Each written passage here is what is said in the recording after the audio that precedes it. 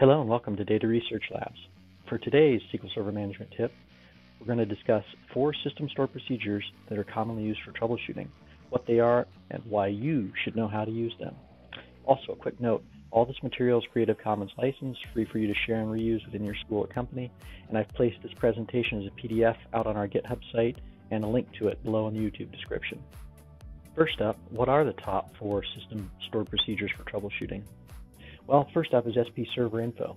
And over to the right, you see a dump of what it'll list out a bunch of attribute names and values that are important for the server. And then there's SP help space and the object name. Over to the right, you see that it'll dump out a whole bunch of details specific to the object. Very useful when you're researching a new schema. And then there's SP monitor. Over to the right, you see that it'll take the last time SP monitor was run, plus the current run, give you a delta in seconds, and then list out a bunch of information on whether the CPU is busy, the I/O is busy, etc. during that time frame that you're monitoring. And finally, my favorite, SP-WHO2, which is used to look at the given SQL process IDs, the SPIDs over on the left, and tells you whether they're sleeping or running or suspended. And then there's block by column right here, very useful because you can determine whether there's blocking or deadlocking going on. You can determine what login, what server, what program is running certain things. Very useful you're trying to troubleshoot performance issues and see what's going on. It's a great starting point. Next up, how to use SP server info to troubleshoot version, case, and isolation level. Starting from SQL Server Management Studio, Windows button, SQL Server Management Studio, we execute SP server info from the query window.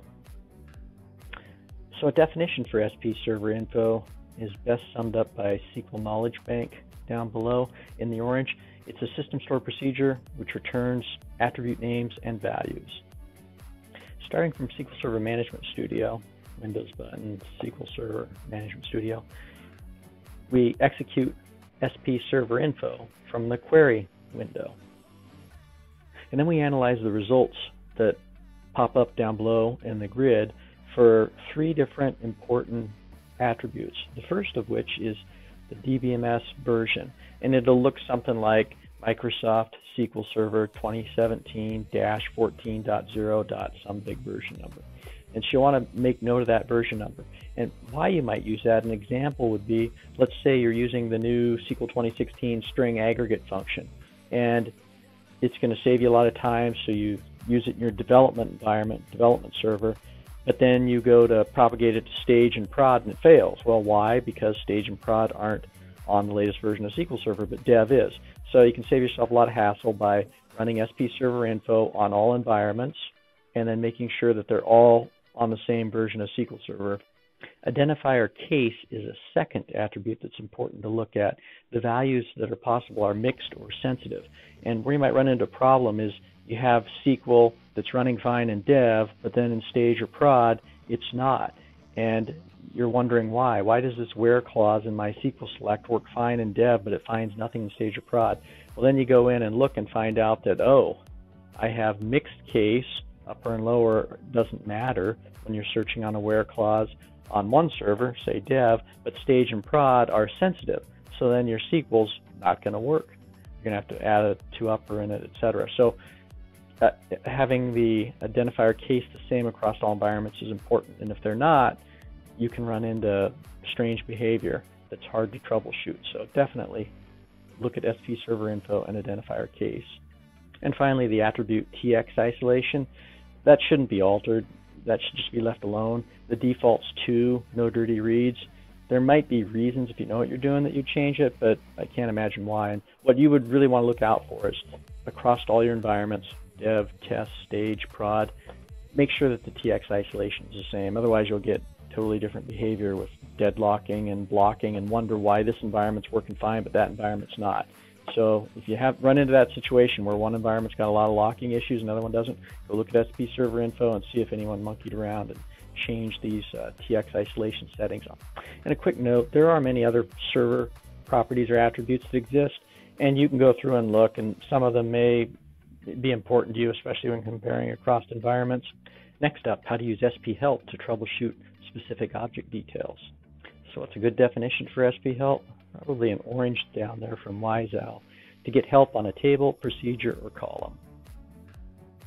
So how do we use SP Help for troubleshooting and researching objects? Well, starting from SQL Server Management Studio, we go to the query window over there to the right, and we just issue an SP underscore help, single quote, name of the object, and single quote. And the particular object we're going to demo here is a standard SQL system table. So once we've run SP help with the name of the system table, then our results pane will populate a bunch of different sections of details specific to the table or view or stored procedure, whatever object that we've asked for help on. And these details are all different. So what we're looking for is, or we're looking at here, is the details behind a table. And the first section is sysobject, the table name, the owner, DBO, etc. The next section is all the column details for that table. Section below that is if there had been an identity column, details behind that identity column, seed, how it increments, etc. And so on. So there's row GUID ID, file group information, and this is nice. All the indexes for that table are listed out. So the name of the index, the description, and the index keys that are involved in that particular index. And this is nice because if you don't do this, if you go over to the SQL Server Management Studio and the tree control and you right click and expand the table and right click and expand the indexes on the table and then script each one out individually, it takes time. But with this command, really easy. You get everything dumped in one spot. So you can walk through all the indexes and quickly look through if there's three or four keys, you can see them all labeled out, listed out nice and conveniently. And finally, the foreign key references. This is really nice. So this is telling me that there's some other system tables that have foreign keys into this particular system table. So it'll show you the dependencies. It's very nice. So the bottom line is there's a lot of information all in one place. And if you're looking at a brand new schema for the first time and walking through it on the tree control on the left in Management Studio, then on the right in the query window, you could be executing SP help this table, SP help that table, and you could be walking through and learning the, the schema quicker that way. So next up, how to use SP monitor to troubleshoot server status. So here's some definitions for the SP monitor stored procedure, and you can read them, but in orange are the kind of the key concepts. SP monitor displays the current values and how they've changed since the last time the procedure was run, and it looks at various counters. So how to use SP Monitor? Well, starting from SQL Server Management Studio, in the query window, you execute SP Monitor. And when you do so, you might get this red error, procedure SP Monitor, arithmetic overflow. If that happens, don't worry about it. All that means is that the last time SP Monitor was run was so long ago that the number of seconds is greater than what an integer can handle. So if you get the error, just run it again. No big deal. So once that's out of the way, you execute SP monitor, wait 30 seconds, 60 seconds, whatever, some interval, and then execute it again. And then analyze the results. And you will see that there's a delta between runs. So I last ran it at this given time, and then theoretically 30 seconds later I ran it at this time, but it wasn't. It was 9,000 seconds. 600 seconds is 10 minutes. That's a lot of time between runs. So anyway, last time it was run, current time it was run, and then it's going to give you whether or not the CPU and I/O have been busy during that time delta. 7%, CPU busy, I/O busy. A test server. It's not doing much. I don't understand the 379%. I wonder if it's you know four CPUs or something, and it goes up to 400%. I don't know. That's odd. But these are giving us whether or not it's busy. And if you do a tight time, you can baseline your own system by running SP monitor with a 30 second gap and just see what normal is for all these values. And then when times are busy, go see what the values are. And the third section, packets received or sent, and the fourth section, total reads, rates. And there is an error count. So, you know, if you're having hard disk issues or something's going bad, I would expect this to always be zero. If it's not zero, then it might be an indicator something's going bad, network card or something, hard drive. So, and finally, my favorite, that I use all the time, how to use SP-WHO2 to troubleshoot deadlocks. So what are some definitions for SP-WHO2, that stored procedure? Well, it's undocumented and has been around forever since version 6.5 of SQL Server in the 1990s, but it's widely used instead of SP-WHO, and it's used to list the processes that are currently active.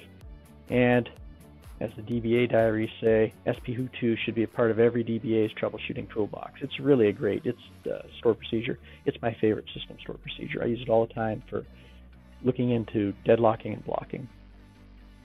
So how do you use SP-WHO2 for troubleshooting? Well, you fire up SQL Server Management Studio, go to the query window and type in sp underscore who2 and hit enter.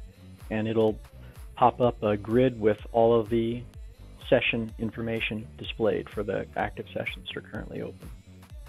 So a grid of results comes up, but how do we analyze those? Well, we're going to start by all the output columns that are in that grid. What are they? Which ones are useful? Which ones not so much? Well, here they are. There's a SPID, a SQL session ID. It's very important. That's the handle for the given row and, and session. We have a status, and we're going to come back and circle around and show a list of what all those possible status values are but the process status is important.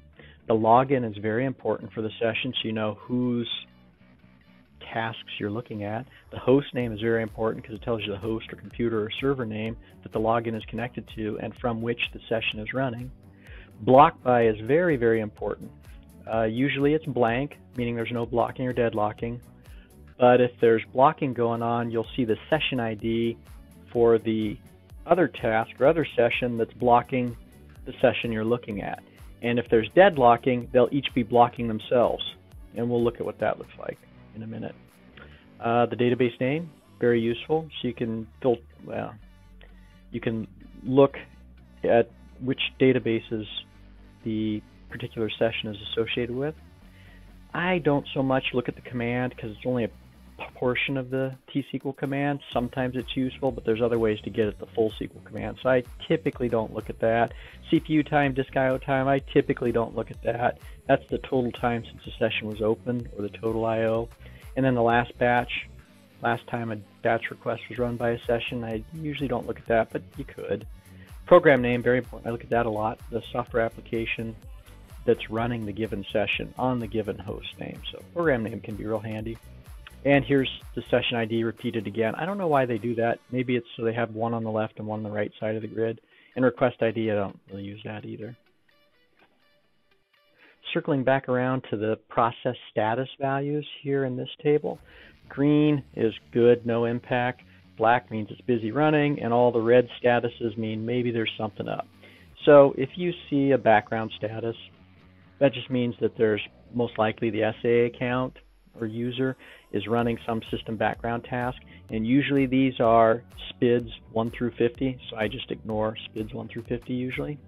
Uh, sleeping statuses are typically users who their connection is open, but they haven't run anything for 30 minutes, an hour, or two hours, and should have a bunch of sleeping connections laying around. As long as you don't have thousands and thousands of them, it's probably no big deal. The running session, it's busy running one or more batches. And then now we get to the red ones that are kind of interesting. If you have any suspended sessions, that means the session's waiting for an event, typically an I.O. event, to complete or a temp DB operation to finish. And if it's just three or four or five seconds, you run SP-WHO2, it's suspended, a given session ID. You run it again and it's not suspended, I wouldn't worry about it. But if it's 30, 60 seconds or more and it's suspended frequently or for a long time, then you might go look at perfmon on the server and see if the hard drive's busy. Rollbacks, uh, that status, I typically don't pay any attention to that, except once in a while, dev test stage. If I'm in the middle 30 minutes down into a big batch process and I realize, oh no, and I stop it, now it's got to roll back the transaction. So I can watch that and keep running SP-WHO2 to see how long it's going to stay in rollback mode. Runnable, interesting. I've seen that occasionally. A task when it's runnable on a busy server, it means that it's in the queue of a scheduler and it's waiting to get a, I should have put quotes around that, time quantum. So it's just a busy server. It's going to get picked up and run. It's just waiting. Spin loop, I've never seen that, but it's a session task is waiting for a spin lock to free up. Dormant, never seen that, but that means the session is being reset. And pending, I don't think I've seen that. It means the session is waiting for a worker thread to free up. So some of these are probably, they're just briefly there and then they disappear. Oh, and a quick note, these presentations are all Creative Commons licensing, so feel free to copy them and use them in your organization or your school or whatever.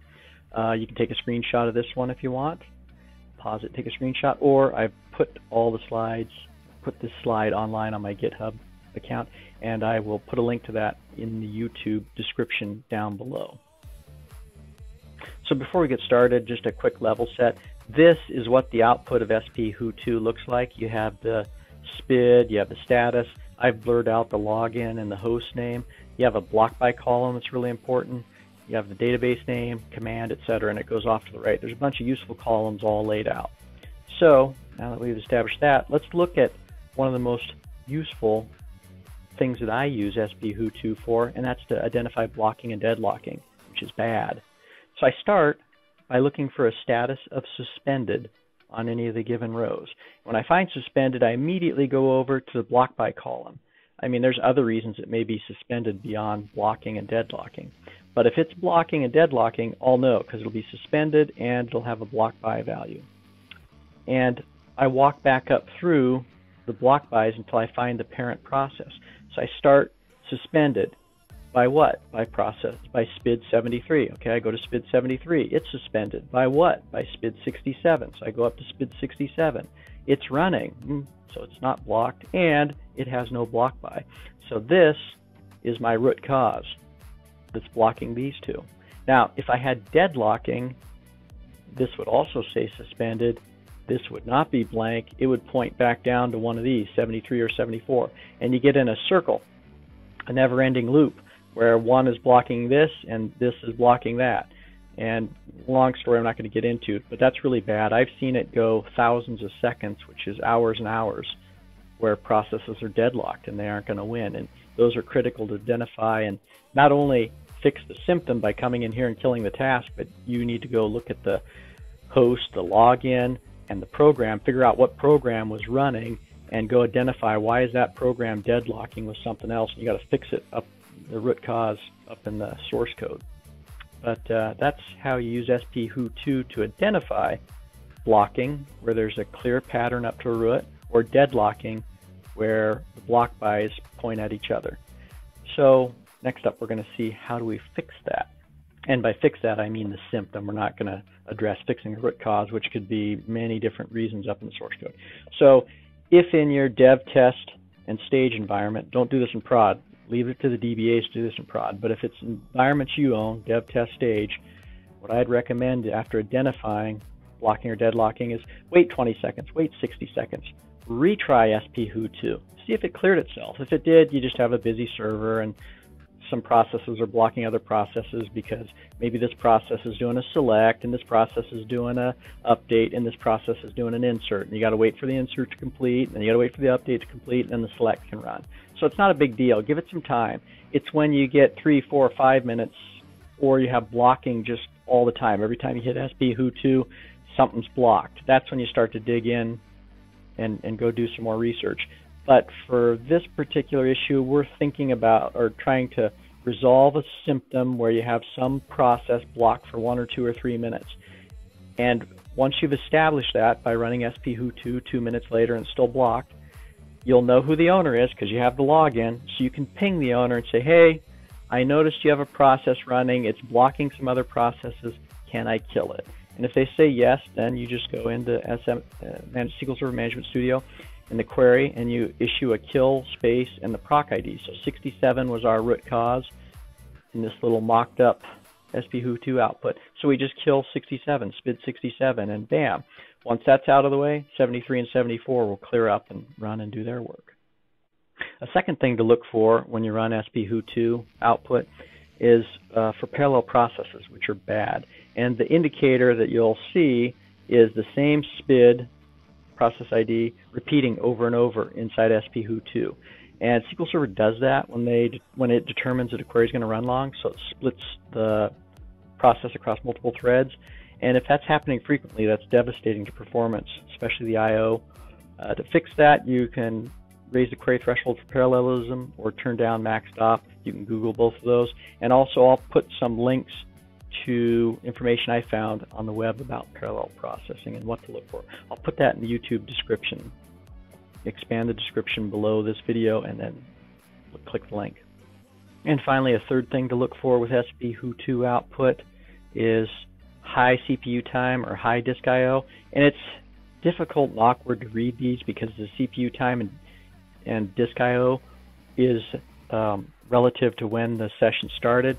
So maybe the session was fine, and then the last five minutes had a problem. It's going to be tough to tell.